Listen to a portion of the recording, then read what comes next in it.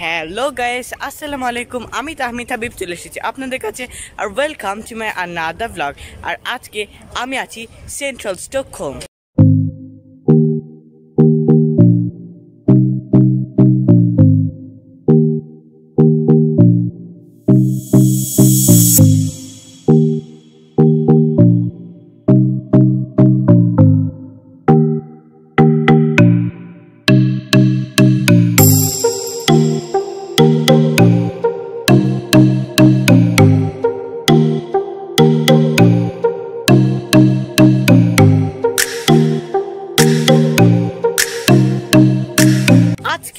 আমি চলে এসেছি সেন্ট্রাল স্টকহোম বেসিক্যালি আজকে আমি সেন্ট্রাল স্টকহোমের মেইন জায়গাগুলো ঘুরবো, একা একাই, আর আপনাদেরকে দেখাবো।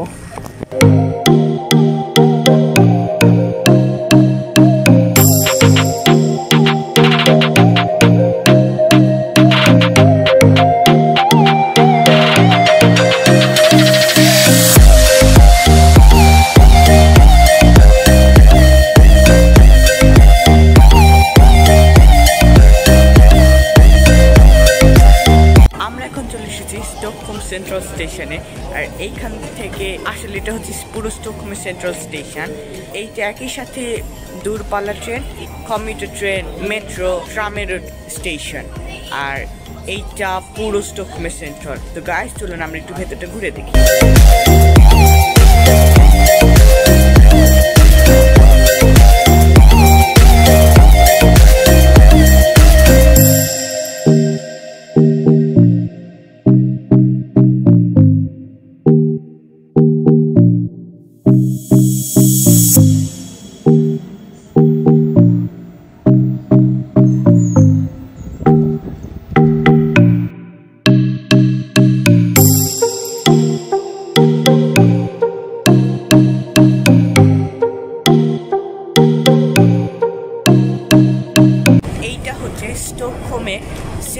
মেট্রো স্টেশন আমি যেটা আপনাদেরকে এখন দেখালাম, আর আরও দেখতে পাবেন। আর এটা অনেক সুন্দর। আর সুইডেনের মেট্রো স্টেশনগুলোকে বলা হয় বিশ্বের সবচেয়ে বড় আর্ট গ্যালারি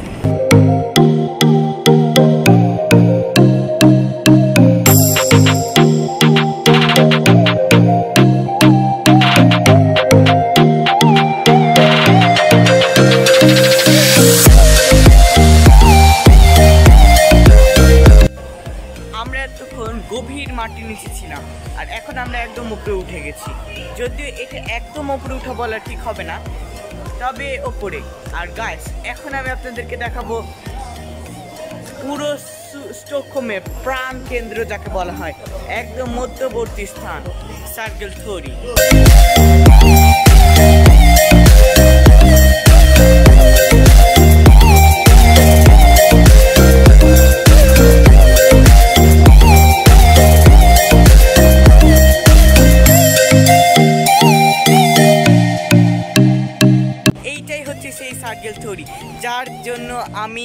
মানে কি বলব? First time in Stockholm Sweden মানে অন্যরকম একটা অনুভূতি, আসল কথা। আর সার্কেল থরি বলতে গেলে ওই স্তম্ভটাকে মূলত সার্কেল থরি বলা হয়। সার্কেল হচ্ছে একটা নাম, আর থরি অর্থ এইটা একটা অনেকটা মেলার মতো বলতে চলে, অর্থাৎ একদম মধ্যবর্তী স্থানে মানুষের সমাগম হয়। আর সার্কেল থরি এইটা হচ্ছে অন্যতম একটা প্রধান কেন্দ্র আন্দোলন করার। অর্থাৎ সরকারের বিরুদ্ধে কেউ যখন কোনো কথা বলে, সবাই এসে সার্কেল থরিতে জমা হয়ে সরকারের বিরুদ্ধে আন্দোলন করে। আর এই কারণে এটা অনেক ফেমাস আর এখানে আছে স্টকহোমের মেইন কালচার হাউস অর্থাৎ খুলতুর হাউস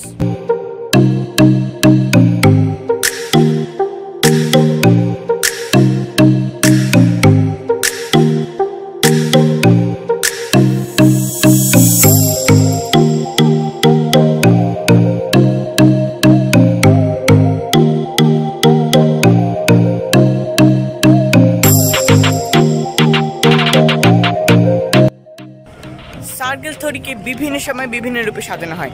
যেমন এখন সামার বলে কিচ্ছু নাই। আর অনেক পর্যটক, আর উইন্টারের সময় এইটাকে অনেক সুন্দর করে সাজানো হয়। এখানে বরফ সরিয়ে আপনার আইসগুলো দিয়ে বিভিন্ন মূর্তি বানিয়ে অনেক সুন্দর করে সাজানো হয়।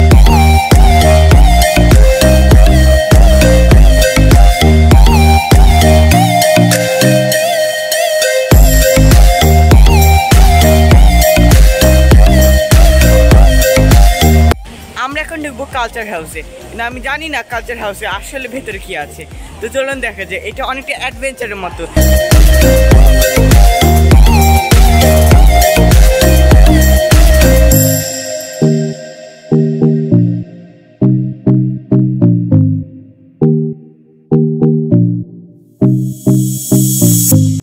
এখন চলে এসেছি কালচার হাউসের ভেতরে, আর আমি উপরে উঠছি, আর এটা অনেক সুন্দর।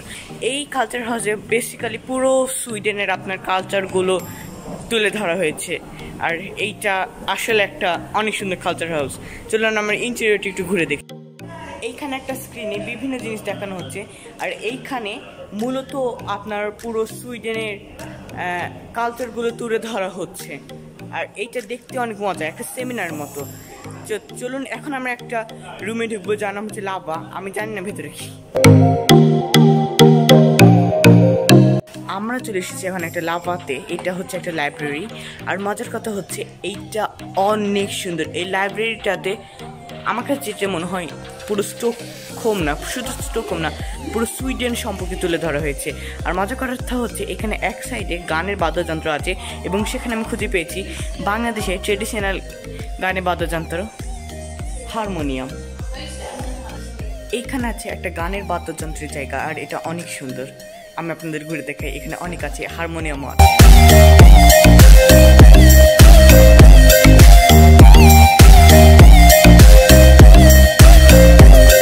গাইস আমরা এখন লাভা থেকে বের হয়ে অন্য কোনো একটা জায়গায় যাই চলুন আসলে কালচার হাউসটা এক্সপ্লোর করতে অন্যরকম লাগছে।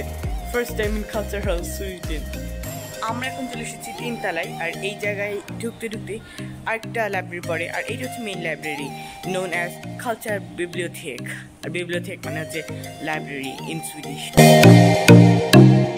তো চলুন, আমরা বিবলিওথেকের ভেতরটা ঘুরে দেখি লাইব্রেরি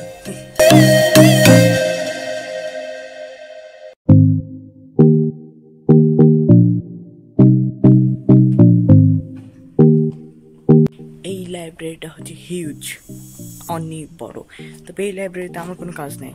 তাই চলুন এবার বাইরে হয়ে অন্য কোনো তলায় যাই। আমার কালচার হাউস ঘোরা শেষ। এবার আমি নিচে নামবো। তো নিচে আমি কেন এলিভেটর দিয়ে সবসময় এভাবে নামতে থাকব? তাই আমি এখন লিফট ইউজ করব।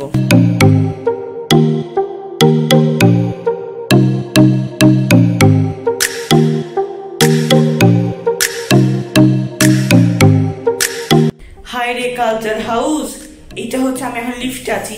লিফটের মধ্যে ওরা কালচার লিখেছে। আর এখন আমি যাচ্ছি একদম মাটির নিচে একটা স্টেজ এইটা এটা বেস্ট স্টেজ ও এইটা হিউজ অনেক বড়।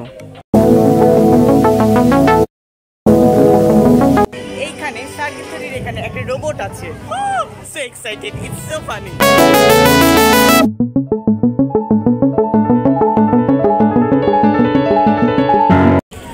এখন যে রোডটা হাঁটছি, এইটার নাম হচ্ছে দ্রোতিং গতান। আর দ্রোতিং মানে হচ্ছে কুইন, আর আর গতান মানে হচ্ছে রোজ। আর মজার কথা হচ্ছে, সুইডেনের মোস্ট কয়েকটি এক্সপেন্সিভ রোডের মধ্যে এইটা হচ্ছে একটা। আর যার নাম হচ্ছে দ্রোতিং গতান।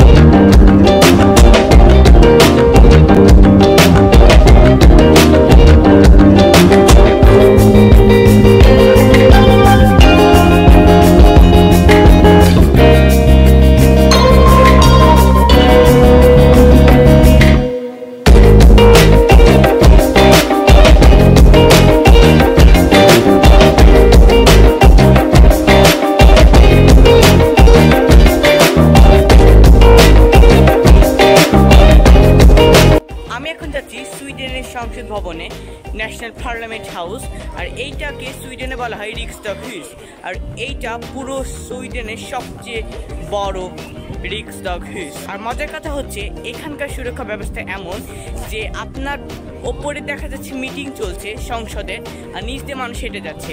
পাশে মন্ত্রী দাঁড়িয়ে আছে, পাশ দিয়ে মানুষ হেঁটে যাচ্ছে। এটা এরকমই এখানকার সুরক্ষা ব্যবস্থা।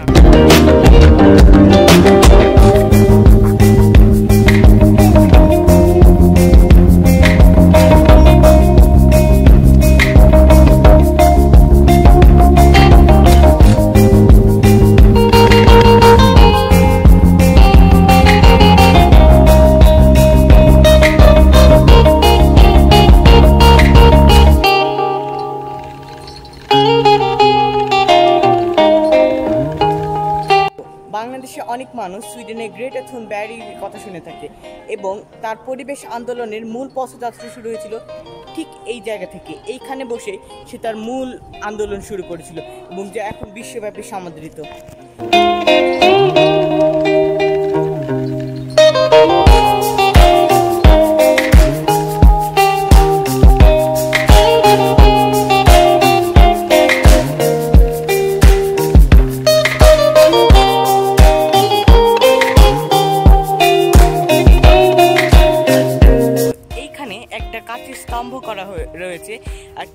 নিচেই একটা জাদুঘর আছে মাটির নিচে।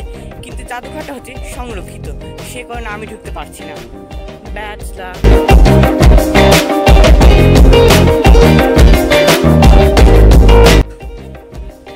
এইটা হচ্ছে ন্যাশনাল পার্লামেন্ট হাউস আর তার ঠিক পাশে এইটা হচ্ছে রয়্যাল প্যালেস আর এখানে রাজা রানীরা থাকে।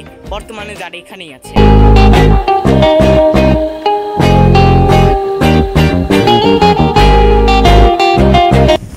আমি এখন চলে এসেছি একদম যেটা পার্লামেন্ট হাউসের নিচে একটা জাদুঘর আছে নোন অ্যাজ মেয়েদেল থিদ মুসিয়েত আর সেই মুসিয়েতের সামনে, অর্থাৎ মিউজিয়ামের সামনে, আর এইখানে একটা অনেক সুন্দর গার্ডেন আছে। আর এইখানে রয়েছে একটা সুইডেনের ইতিহাসে অনেক ভূমিকা রাখে একজন সৈন্যের মূর্তি, যে কিনা সুইডেনকে বাঁচানোর জন্য একদম হাত উজাড় করে দাঁড়িয়ে আছে। চলুন মূর্তিটি দেখি আর গার্ডেনগুলো দেখি।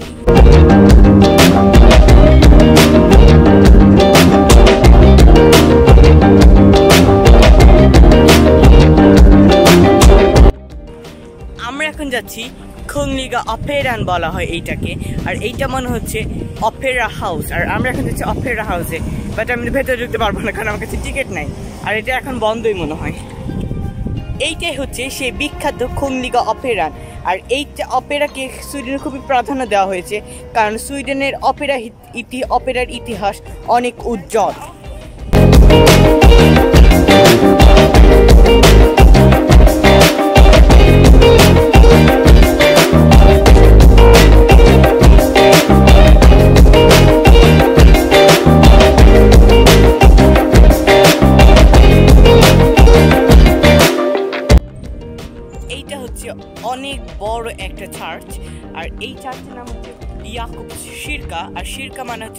ইন ইংলিশ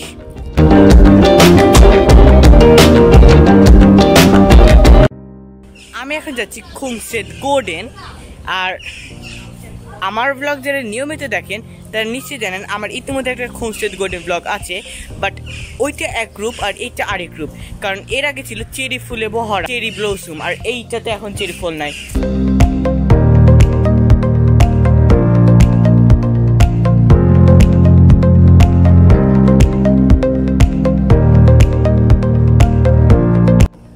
এখন আপনাদেরকে দেখাবো স্টকহোমের মেট্রো আর এখন আমি আপনাদেরকে দেখাবো একটা মেট্রো জাদুঘর। মনে হবে কিন্তু জাদুঘর? আসলে ওটা একটা মেট্রো স্টেশন আর এইটা অনেকটা জাদুঘরের মতো সাজানো আছে। তো চলুন গাইস আমি আপনারা দেখে নিন। এই মেট্রো স্টেশনের নাম হচ্ছে খুমস্টেড গোর্ডেন আর এইটা মূর্তি, অনেক সুন্দর সুন্দর জিনিসে ভরা।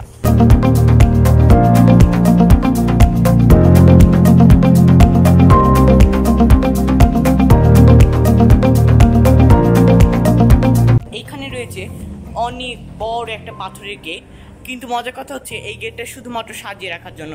এই গেটের মধ্যে দিয়ে কোথাও যাওয়া যায় না।